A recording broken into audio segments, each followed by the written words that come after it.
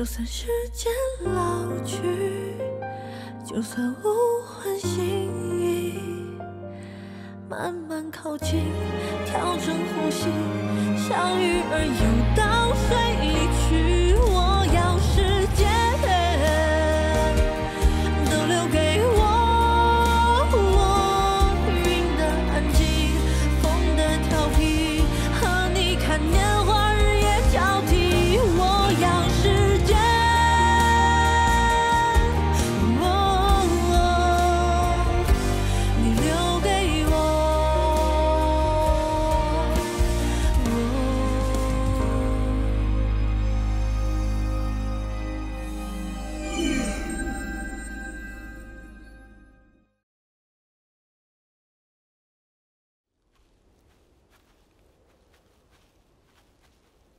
听说，秦东特意带回来一个英国的设计师，想要参与格兰城的配套设计。是，还不错，啊，从哪里摔倒呢，就从哪里站起来。你多照顾一下他的感受。嗯外公，等设计方案出来，两边公平竞争，谁做的好就用谁的。宋院长那边我去公关，您看这样可以吗？那就照你的话去做。呃，你跟文文的婚事定下了没有？啊，呃，我听说好像万泽最近跟赵家呢一直在接触。赵鹏程可不像文文那么单纯呐、你盯着点儿。您放心，我会抓紧办。走吧。好。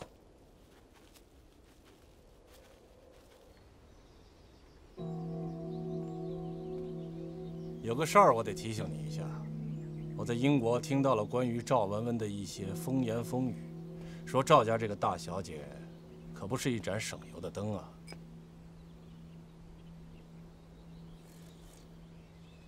文文性格一向张扬，没少得罪人，风言风语的话自然是没少说。我要是计较那些有的没的，倒显得我幼稚。大气。赵家这个女婿果然是没有找错人，一家今后的发展就全靠你了。背靠大树好乘凉嘛，嗯，还是得靠我们自己，单靠文文没戏。胸怀大略，我看好你。我祝你跟赵文文有情人能够终成眷属。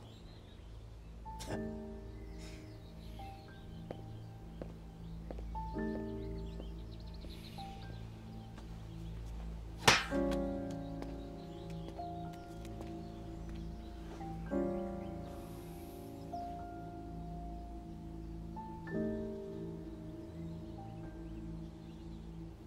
在一起的吗？没有啊，易总。他这次回来的真正目的到底是什么？目的？什么目的啊？我这几天就一直陪着他逛街 shopping 啊。就没发生什么别的事情。嗯嗯，没有啊。从现在开始，他去过什么地方，见过什么人，做过什么事，都要向我汇报。这这合适吗？把那妈字儿去了。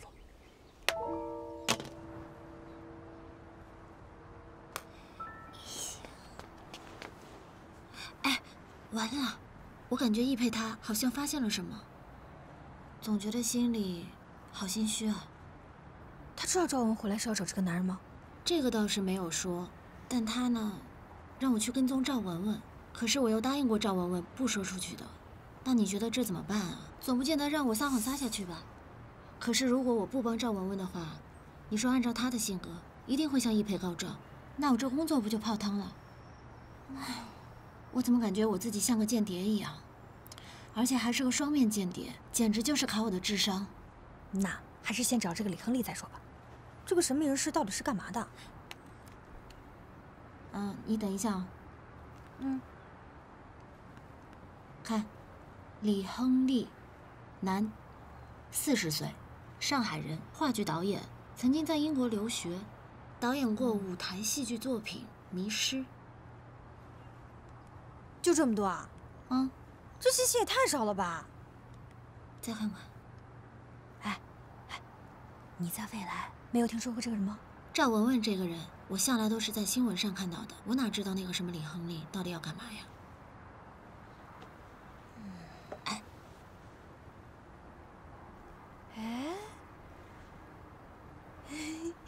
这个大叔长得还挺帅的。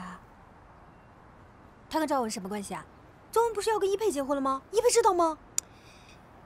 你想问的问题，我也想知道答案，可是我并不知道。这两个人啊，最好什么关系都没有。说实话，我可不想陷入他们有钱人的关系当中去。我羡慕你还来不及呢。要不是一佩跟赵文文已经有了婚约，我可是想鼓励你把一佩给拿下的。那个自大的人，就算是再有钱啊，我都不要。来，借我用一下。我看你就是被叶嘉诚给迷了心窍。李亨利，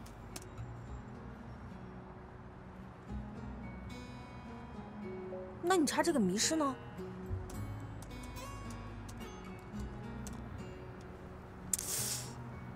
湖水路三十一号旁白戏剧工作室，看来我们只能乱找一通了。万一瞎猫碰上死耗子呢？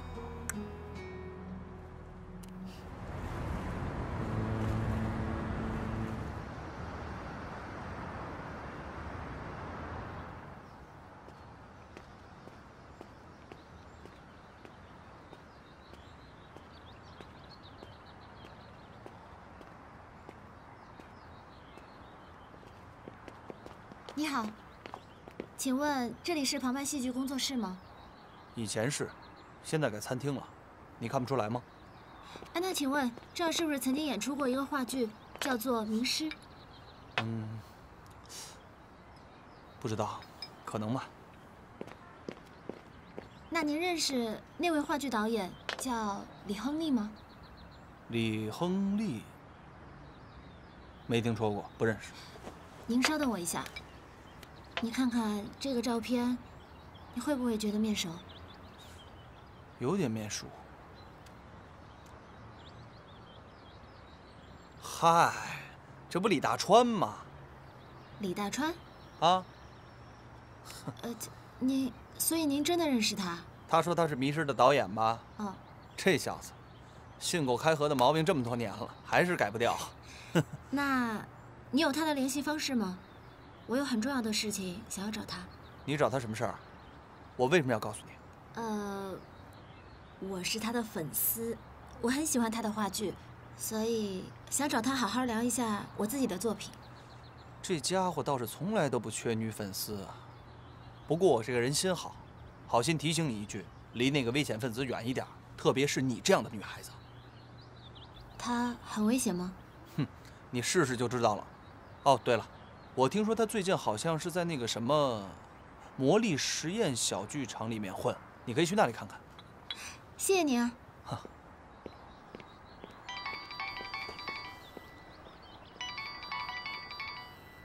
宋小青，他怎么会给我打电话？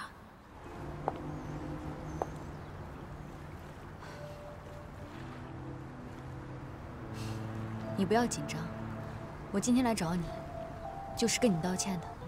道歉？可能你曾经喜欢过嘉诚，所以我对你有一些偏见。过去在言语还有行为上面过激了一些，你千万不要介意。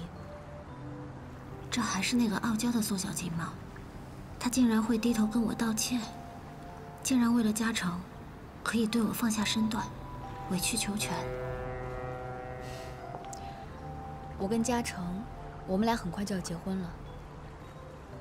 我不希望这件事成为我们之间的芥蒂。而且你跟嘉诚在工作上也有合作关系，所以，我希望我们能够放下彼此过去的一切，成为好朋友。毕竟多一个朋友，总比多一个敌人强，对吧？命运还是跟我开了个玩笑。难道宋小晶才是叶嘉诚的新娘吗？我就知道你一定不会拒绝我的。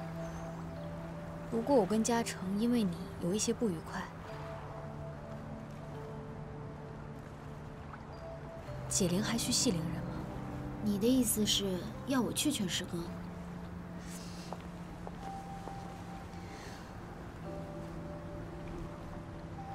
我就知道，我们一定会变成最好的闺蜜，对吧？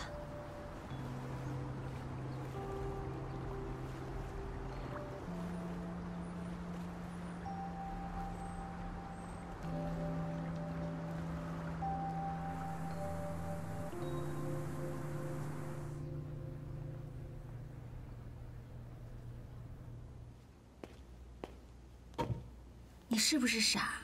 他让你帮他劝和，你就帮他呀？师姐，你是不是回来以后大脑受损，人变笨了？这样的圈套你也麻利的自投罗网。但是，帮宋小金劝和，或许能让一切慢慢恢复到原来的轨迹。不知道嘉诚会有什么反应呢？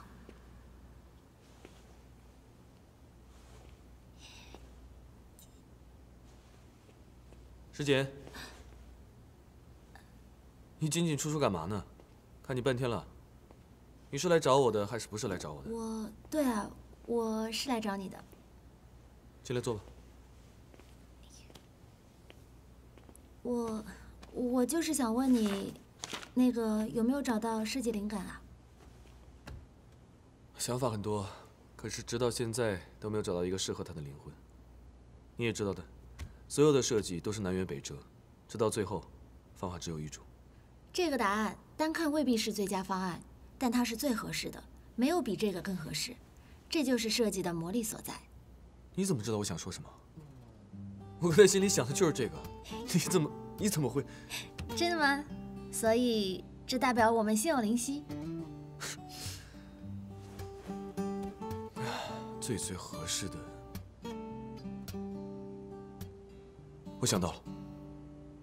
之前一定是我太过于重视建筑本体的设计感了，一味的想用视觉器官达到惊艳的效果，忽略了建筑本体的一个设计功能型的需求，这才是建筑的核心点。师姐，你一句话提醒了我。真的吗？这一次，我一直沉浸在与查尔斯的竞争之中，忘掉了我自己的原则。之前我一直告诉自己，永远不要为了设计去设计。师姐，这回你帮了我大忙。其实，你不用太过于在意查尔斯，不管他是英国最有名的设计师，还是全世界最有名的设计师，但是在我心里，你才是最棒的。他永远都不如你，所以呢，我相信你将来一定会成为最棒的建筑师。谢谢。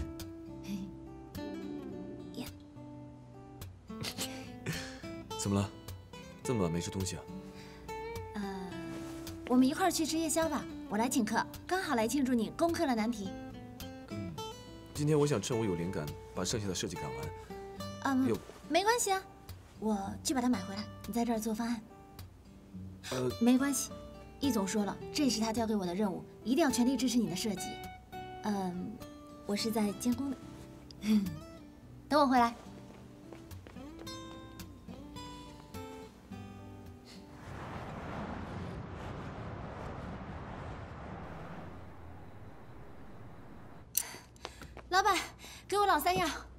哎呦，石小姐，你今天怎么来这么晚啊？我都准备收拾收拾打烊了。别啊，我刚刚可是以百米冲刺的速度跑过来的，我连考试都没有这么拼命过。哎呦，石小姐，你可真是我们嘉兴小吃店的忠实食客呀！可不嘛，今晚对我很重要，需要你的这份小吃来加持。啊，我的小吃还有加持功能啊？当然了，全世界、全宇宙，我就喜欢你们嘉兴这一口，好不好？谢谢谢谢谢谢，谢谢行辛苦了，就冲你这句话，今天我就帮你帮到底了。谢谢谢谢。今天又可以陪叶嘉诚刷夜了，只要能这样静静的看着他，我就已经心满意足了。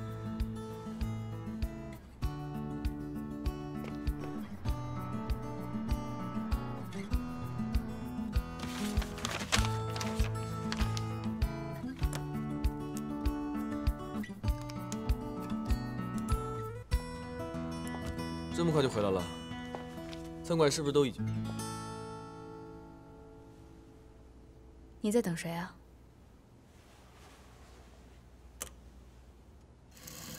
你怎么来了？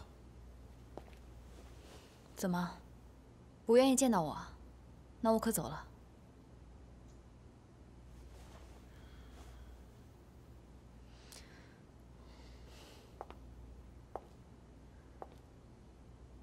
是我爸让我来找你商量一下，看什么时候安排双方父母见个面。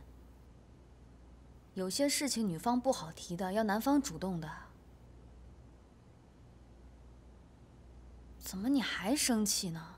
我已经跟石简道过歉了，他没跟你说吗？小江，你是为了这个事情来的吗？嘉诚，以后我不再怀疑你跟石简了，我会努力的把他发展成我的朋友，好好跟他相处，不打扰你的工作，这还不行吗？我觉得我们两个应该再好好考虑考虑。你什么意思啊？我的意思是，婚姻是两个人的大事，要慎重。难道我不慎重吗？我为你改变了多少？难道你看不到吗？小坚，我好了，嘉诚，我们两个不要再吵架了，好吗？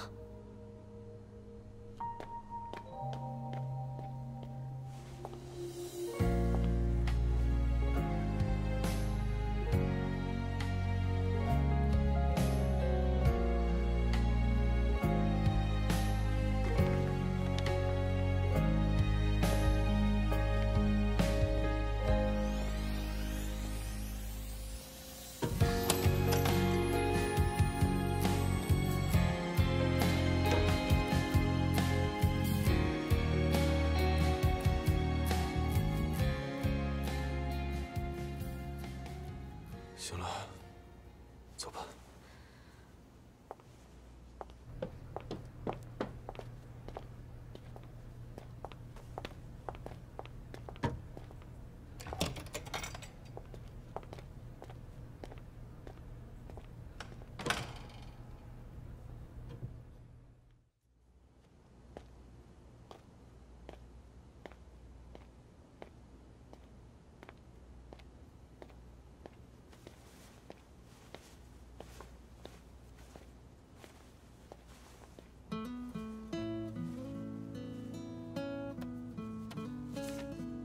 小笼包如果凉了，一定要微波炉加热了再吃。粥如果吃不完，就明天熬上当早餐，千万别吃凉的，对胃不好。一直低着画图，对颈椎不好。喝点热水，补充点体力，别熬夜太久，注意休息。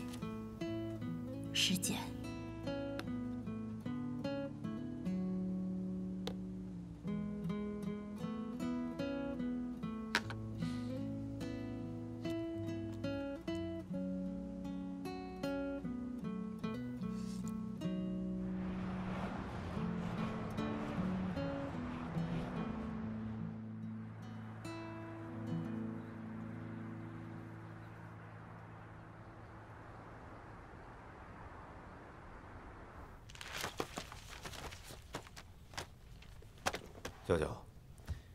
您那边的最终方案什么时候能出来？我们好安排个时间，大家一起讨论一下两个方案，尽快的选择出一个。我倒是有一个想法，既然要进行方案的甄选，我们就需要一个评选的模式。光凭咱们易茂自己的评估，我觉得会有失偏颇。我建议成立一个专家评委会，从专业的角度对以上两个方案进行全面的评估，采取投票制，来进行最后的定夺。裴总，嗯，你觉得这个方式怎么样？舅舅的这个建议好，考虑的就是比我们周全。那专家方面，由您来邀请，我全力支持。好。易总，你为什么要同意呢？还让对方来安排专家，这样的话，不是摆明了对我们不利吗？哎，你说，你说这易钦东他又搞什么幺蛾子？每一次关键的时候他就说来捣乱。易总到底出什么事了？对方说要组织一个专家评委会，拿你和查尔斯的作品进行评选，谁的分数高、票选多，谁的方案就获选。小程，你觉得呢？我无所谓，我的设计又不是拿来参赛的，这一点上，易总你大可不必担心。可是，对方明摆着会拿他们自己人来做评委，到时候一定会倾向查尔斯，这样的评选对你不公平。没关系了，你对我作品没信心？怎么会呢？我说过，你是我唯一相信和欣赏的建筑师。那不就得了？那天晚上我已经跟你说清楚了，我已经想通了。可是我希望你可以被公平对待，而不是变成斗争的牺牲品。什么牺牲品？师姐，易总在这儿，你说话过过脑子行不行？没关系，既然嘉诚觉得没意见，这件事情就不要再讨论了。我对你有信心。不管怎么样，易总，我还是想跟你讨论一下接下来设计的方向。好。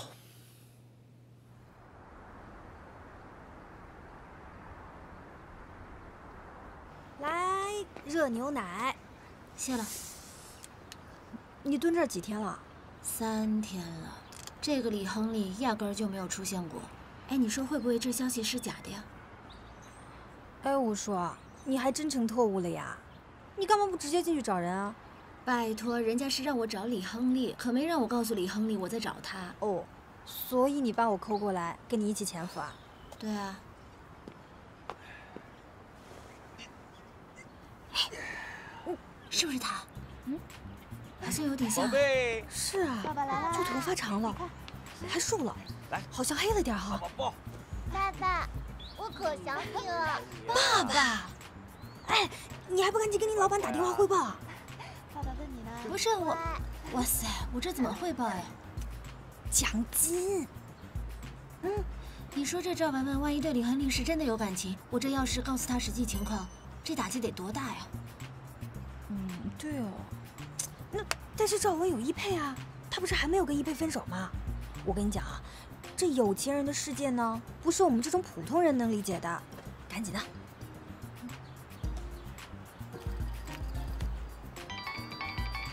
哎，宋小金，你俩什么时候互动上了？他不是你情敌吗？喂，师姐。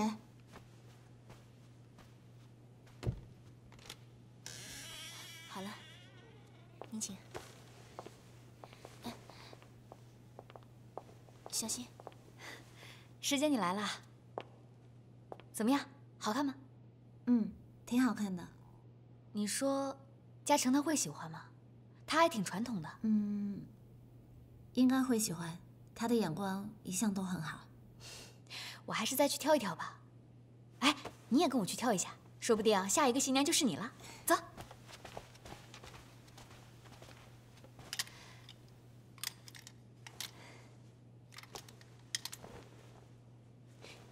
你觉得这件怎么样？嗯，还不错，拿去试试。哎，我不太合适吧？这有什么不合适的？来，走，快去。我在外面等你啊。这给我吧。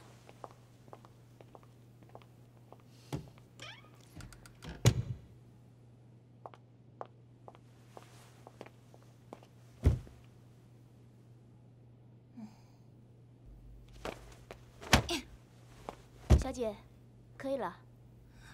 哦，好。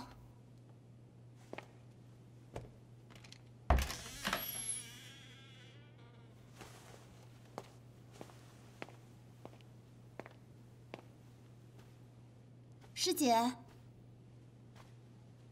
师姐。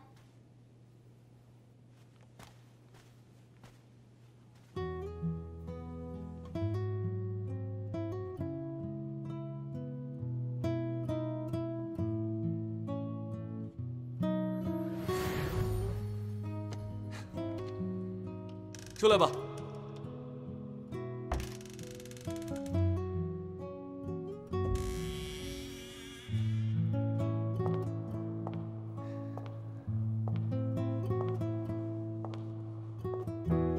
绝对不看，真的不看。嗯，好美，我都已经感受到了。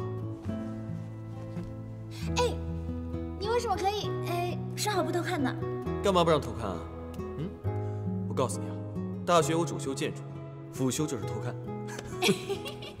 真的吗？还有啊，穿这么漂亮的婚纱，不让我看，让谁看啊？说真的，你一定是世上最美的新娘，没有之一。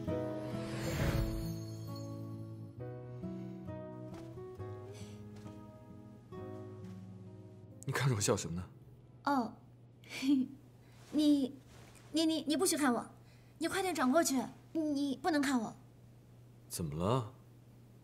没想到，你穿上婚纱，整个人的气质都不一样了。嘉诚，你曾经在同样的场景里与我四目相对，那时，你的眼里都是满满的爱意啊。嘉诚，你来啦。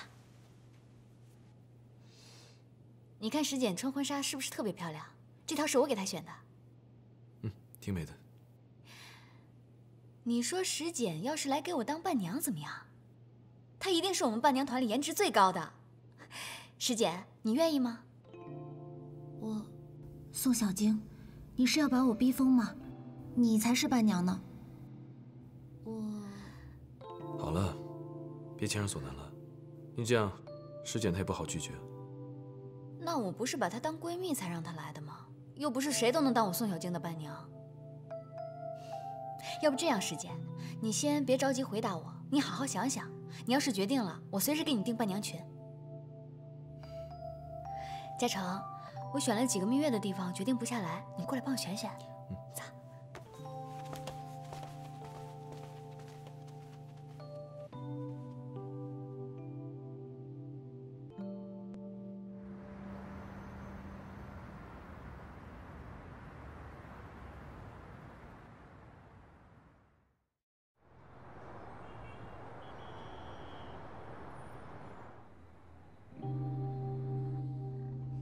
现在的嘉诚眼中没有我，可我不能放弃，我必须要努力争取我的未来。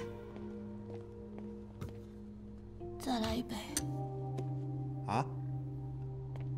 哎呀，石小姐，这酒不能再喝了，再喝就喝醉了。醉了才好，醉了就不会难过了。哎呀，是跟男朋友吵架了吧？谈朋友嘛。吵吵架有助于感情。再说了，看你对他那么好，就像你上次啊央求我给他做夜宵一样，他肯定跑不了。我老公要跟别人结婚了。啊？你，你结婚了？这，什么时候的事啊？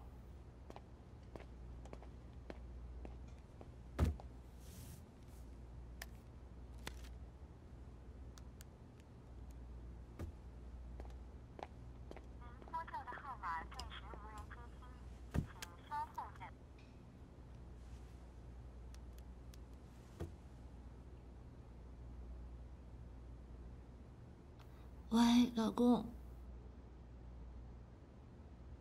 我好想你啊！你来接我好吗？嗯，我在嘉兴小吃铺等你。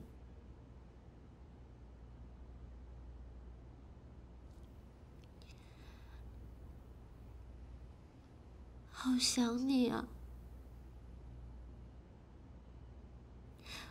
我心里真的好难过，可是没有人知道我多难过，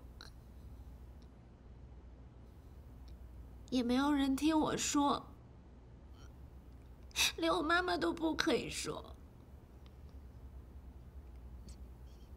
好希望一觉睡醒就能躺在你的身边，一切都没发生，该有多好。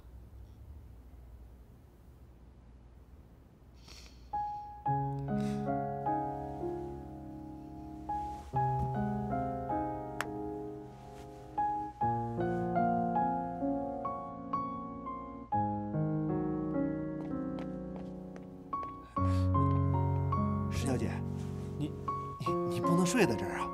你没事吧？我老公来接我了。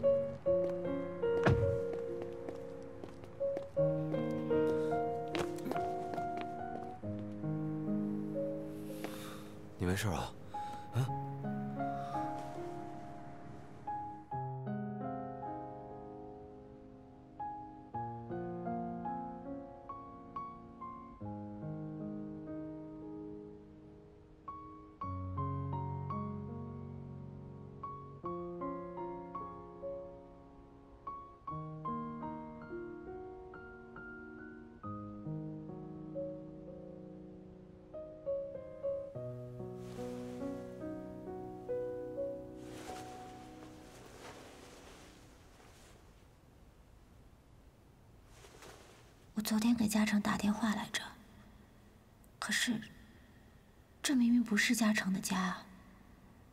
难道难道这里是？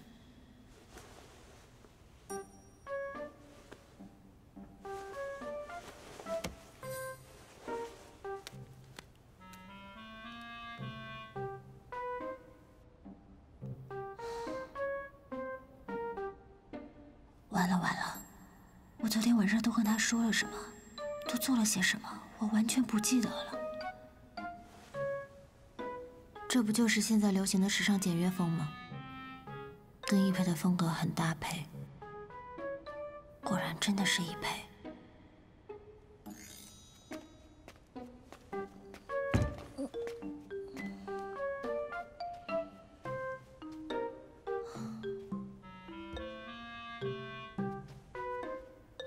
这么大的房子，不会就他一个人住吧？参观够没有？你好，易总。呃，我怎么会在这儿啊？这个问题好像应该我问你才对吧？我我是不是昨天晚上喝大了？有没有？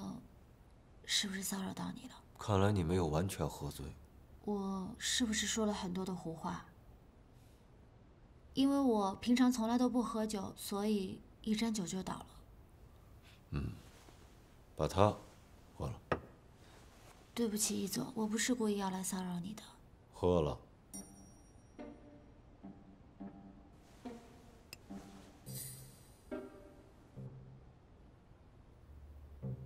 喝干净。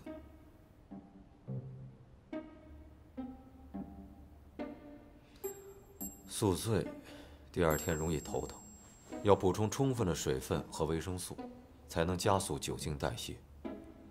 不会喝酒就不要自己灌自己。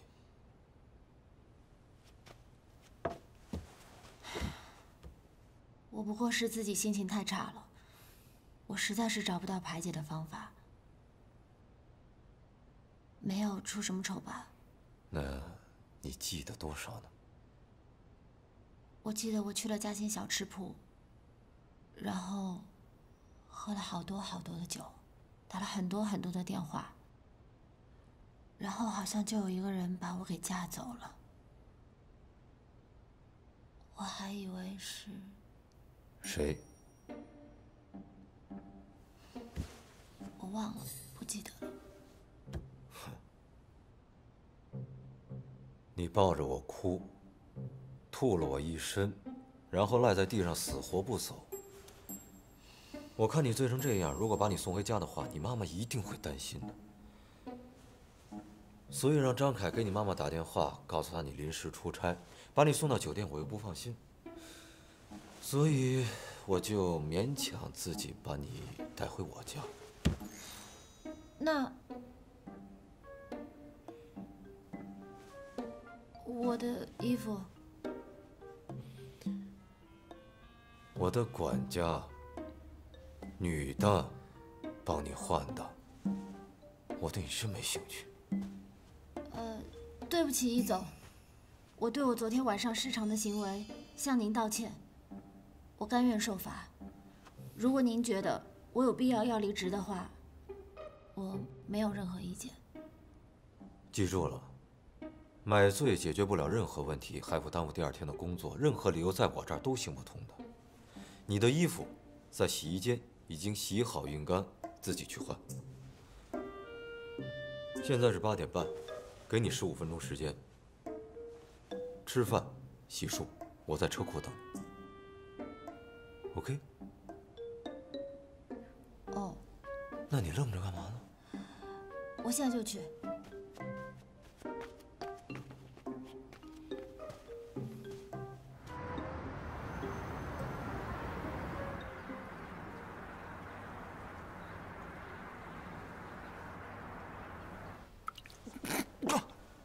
什么？你吐了易总一身？你还抱着他哭？你还跟他……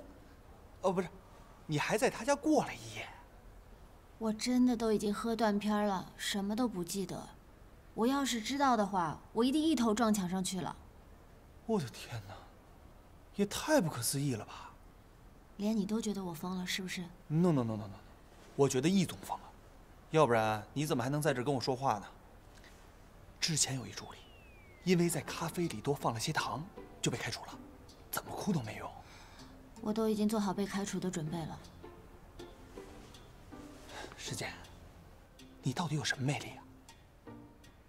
哦，我知道了，该不会是我们易总喜欢上你了吧？怎么可能啊？不然他为什么对你网开一面？哎，有什么招，教教我呗。别闹了，人家易总都有赵文文了，况且我也有我自己喜欢的人。你那么认真干什么？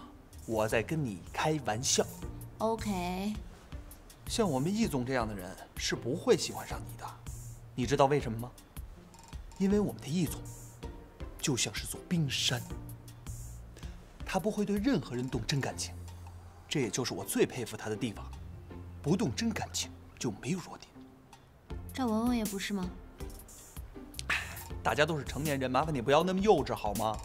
全世界都知道他们俩在一块儿，只是为了生意联盟。有句话怎么说来着？谈感情伤钱。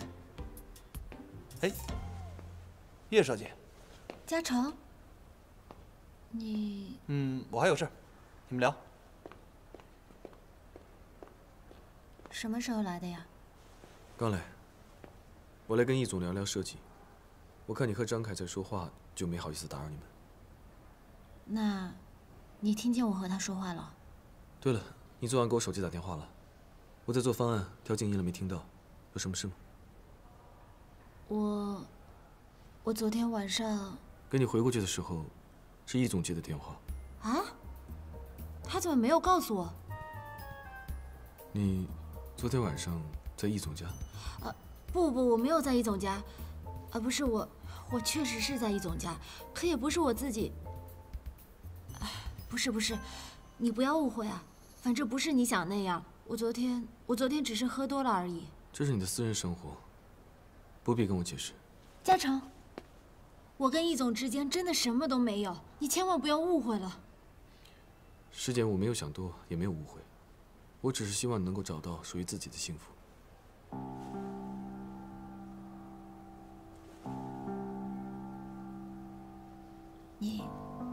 是不是真的一直都很讨厌我？看到我就很烦我。我知道，我知道你跟小静师姐马上就要结婚了。虽然我心里有一百个不愿意和不舒服，可是我还是逼迫着自己一定要去祝福你，因为我答应过我自己，我不能去阻挠你的幸福，我一定要永远在你的身边支持你和支持你的梦想。请你无论如何不要再说出祝福我的话，好不好？因为我的未来，我的幸福只有你一个人。可是显然现在我的幸福根本就与你无关，所以我可以祝福你，但请你不要祝福我，你听见了没有？